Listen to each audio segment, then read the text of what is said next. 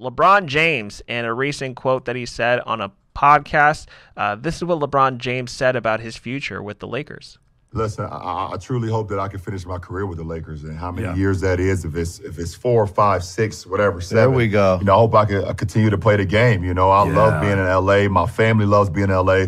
Being with a historical franchise like the Lakers or something like it's like me, you know, being in Space Jam. Now, I never thought it'd be possible. You think yeah. about Kareem and Magic and Wilt and Jerry West and Elgin Baylor, Kobe, Shaq. All the, the whole list goes on. And that's what LeBron said. So uh, Mark, you're somebody that likes to refer to LeBron James as your stepdad because you're a hardcore Kobe Bryant fan. When you heard that, what was your initial reaction? Well, I, first of all, uh, the the fact that he's saying that, uh, oh, I never thought I'd be in Space Jam too, dude. You've been in talks uh, for like the last ten years, so like, I, well, then again, like here we go again with uh, LeBron James being LeBron James, but uh, I don't mind it. I mean, I'm, I'm not gonna lie. like I'm gonna, you know, I'll talk all the crap I, I usually do about him, but uh, I'm not gonna mind him being, you know, a Laker uh, for the rest of his career. I mean, it doesn't bother me. It doesn't bother you. Here's the thing: when I hear four, five, six, seven, okay, like the first thing that I thought of was like, oh, just like the Miami Heat, and you were like, oh, we're gonna win four, five, six, seven, not one, not two, not three, not four, not five. When he pulled that with uh, Dwyane Wade and Chris Bosh. That was the first thing that I thought of. And I'm like, all right, now that you're pulling that same routine that you did years ago uh, when you first got to Miami, you're now about to be 37, I want to say, in December, which means like you. Yeah. Uh, are you expecting to be Tom Brady? Like, are you expecting to be like somebody that's going to be playing at the top of his game even in his 40s? Like, uh, that's very something that like I take precaution of. I kind of feel like he's going to be that same caliber like Kobe, where you don't see him coming off the bench. I, I highly doubt LeBron you'll ever see LeBron come off the bench.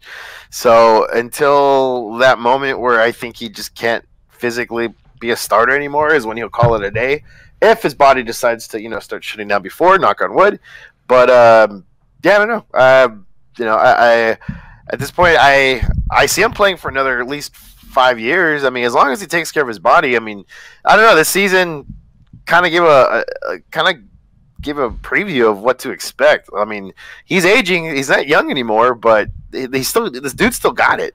I mean, I, was gonna say like, dude, before he got hurt and he got taken out by Solomon Hill, uh, I will say that it almost looked as if LeBron James was one of the favorites to win the MVP this year.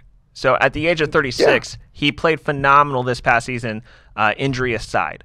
I think if he is able to like just not even be an MVP candidate, but like be someone that's maybe 22, like if he's dropping the same type of stat line that Russell Westbrook is dropping with the Washington Wizards, that will be impressive.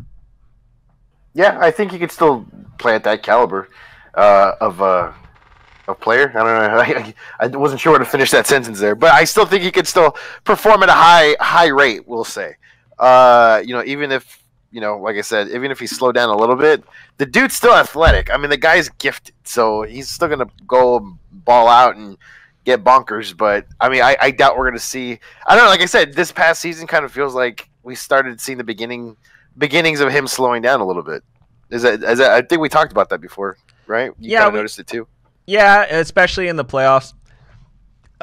Excuse me. Um, especially in the playoffs against the Phoenix Suns. I mean, he wasn't attacking the rim when that's for the taking. Like you got Mikal Bridges on you, and Mikal Bridges uh, looks like a miniature sized car compared to the tank that LeBron James is. And so I'm like, why isn't he taking it strong to the hoop? Like, yeah, granted, there's Jae Crowder guarding him sometimes, but we saw before what Jae Crowder uh, does, or like, I'm sorry, what LeBron James does against Jae Crowder.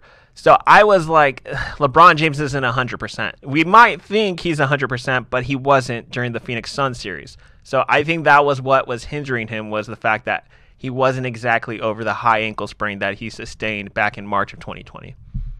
Yeah, so you know, and plus he's laid off the HGH, uh, you know, uh, apparently. Uh, allegedly, so I think maybe allegedly. Oh, that's right. Apparently, I used the wrong word there. Maybe it was just a Freudian slip. I don't know, but uh, he is on my team, so I can't be saying that stuff anymore but uh, to your point, yeah, like I do you think the Lakers would ever have the audacity of benching a player such as LeBron James? Like I can never imagine LeBron James coming off the bench for any team. No, I mean not, not at all. Uh, that, you know, I said that like five minutes ago. I don't see him ever coming off the bench. I think. Uh, oh yeah, I was just going off of your point, like that you made a. Oh like, yeah, yeah, yeah, So I'm just going off of what you were saying. Like I can never ever imagine LeBron James Oh, coming off the bench. Yeah. Yeah, yeah, no, absolutely not. Uh, I, I, yeah, I don't see him swallowing this pride. Uh, I see him, uh, you know, pretty much aiming for Space Jam three and then calling it a day. Maybe I don't know. Maybe he's going for the trilogy. I think ultimately he, d- even though that seemed like a very sales pitch that he said, uh, you pointed out one part of it that sounded like a sales pitch. I also pointed out another. I think when it comes to it, LeBron James only cares about two things and two things in his career, and that Money. Uh, well, that too. But I was gonna say the last two things he wants to do is beat Kareem's all-time scoring record, and he also wants to play with Bronny. So I don't think when like everything that he said language-wise, when it comes to the contract, unless the Lakers are able to get Bronny onto the Lakers, I think he's gonna go Taken style and Liam Neeson it. Liam Neeson it by looking and searching for wherever Bronny is, because then he'll play with Bronny with whatever market he lands in. I hope he gets like I hope like he gets drafted by like I don't know the Sacramento. No, wait, we don't want the Sacramento Kings to draft Bronny. I was Um, gonna say I was trying to think of a crappy team. Oklahoma City Thunder, maybe like maybe. And there you go, Yeah. small market. Yeah, it has to be like a really crappy small market team. That would be hilarious and be good for them too, because I know they're not going to win anything. But the fact that they have like LeBron James and Bronny, like you know, get some eyes on uh, on their team for once, and uh, you know, some views, some clicks, but that's it. Uh, but I, I- I see that too. Uh, I- you know, I see him staying until Bronny's uh, drafted, and then him just yeah, just going wherever he's going to go. I doubt they'll win a ring together because I think that's what he said in his uh, in his interview, right? uh, or did I hear that wrong? from LeBron. Yeah, about him uh like trying to win a championship with his son. Yeah, that's obviously like a bigger picture goal, but I think he'll be. It's like when Ken Griffey was in the same uh, league at the same time as his dad. It's just like, oh, that's wishful thinking, but neither of you guys are in your prime yet. Yeah, no, I, I don't see that happening. If anything, they could do like a father son dance, but that's about it. Yeah. Maybe uh I don't know. Maybe they'll start a podcast together. Maybe a Taco Tuesday podcast that they never got off the ground. The Braun, uh, well, instead of like DDT, it would be like BTT or something like the Braun Taco Tuesday podcast or the Bronny Taco Tuesday, something. I'm still I'm still kind of livid at the fact that he was still trying to copyright Taco Tuesday. Dude, he's And a ever since- salesman. He's a salesman. Money. That's that's LeBron James. Money. That's all he cares about. Dude, And and championships, I guess. Okay, like going with what LeBron was saying about four or five, six years, like I see that more with Anthony Davis. And again, I'm not a fan of the Lakers. I'm just someone that's covering them. And I would wishfully want Anthony Davis to be the one that ends his career with the Lakers. However, with his injury prone history that he has, do you feel as if like he would be someone that would be saying the same exact thing as LeBron right now? Do you think like he wants to spend the next four, five, six, seven years with the Lakers? You know, I don't, I don't know about Davis. Uh, I don't know. I, I haven't seen enough yet. Like, I think if he keeps winning, if they wins a couple more championships, then yes, I could see that. But as of right now, I don't know. That's a that's a good question because I really don't see him. I don't see a long picture with him as of right now. Will I see it? Yeah, it just depends on what the outcome is going to be. So it's one of those like I don't we you know won't I can't answer it until I see it. But I don't know. How, how about you? Do you think do you think he'll stay? Oh, I think he'll stay. Um, the thing that I d- actually I doubled down on this. I would buy because I'm not sure if you know I'm a card collector when it comes to like basketball cards and stuff. And, And Pokemon? no, I sold all those. Um, Ah, I had I, I was talking to a girl. There was something I couldn't hang up in my room, if you know what I mean. Uh, but and then and then you lost your virginity.